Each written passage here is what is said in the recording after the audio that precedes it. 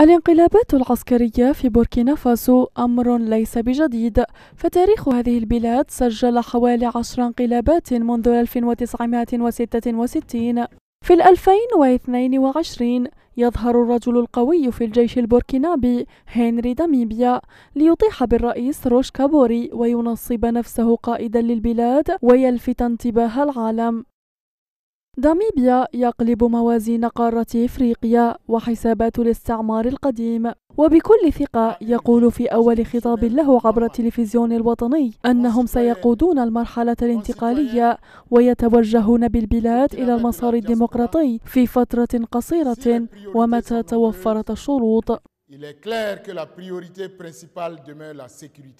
بول هنري سانغو داميبيا مواليد الثاني يناير 1981 هو قائد عسكري برتبة مقدم بدأ مساره التكويني في بوركينا واصل داميبيا تكوينه العسكري في فرنسا وتحديدا في الأكاديمية العسكرية بباريس التي عاد منها حاملا شهادة عليا في مكافحة الإجرام وإفادة خبرة في استراتيجية الدفاع والقيادة. ليتوجه بعدها إلى مكافحة الإرهاب غرب إفريقيا.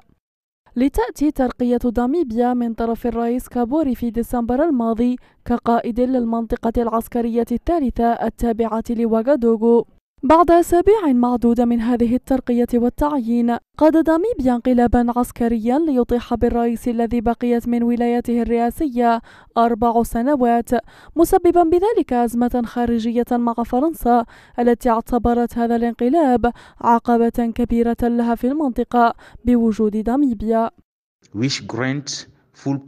العقيد دامبيا أصبح الآن على رأس السلطة ويريد أن يرجع السلطة إلى خطها بسبب فشل الحكم السابق وهو لا يريد أن يكون على خطى الحكم السابق وليس لديه نفس الأفكار.